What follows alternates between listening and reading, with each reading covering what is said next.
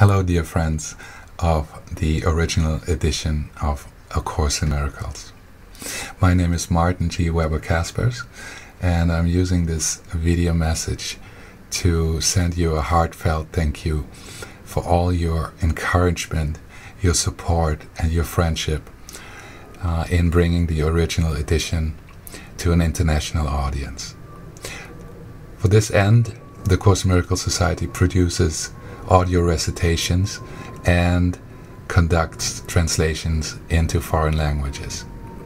We could never do this without your support, and for this fact, we want to thank you once again, either for your support in the past or for considering to make a contribution to our efforts from now on.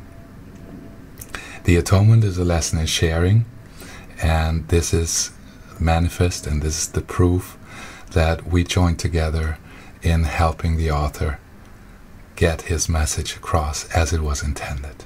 Thank you so much, and God bless you.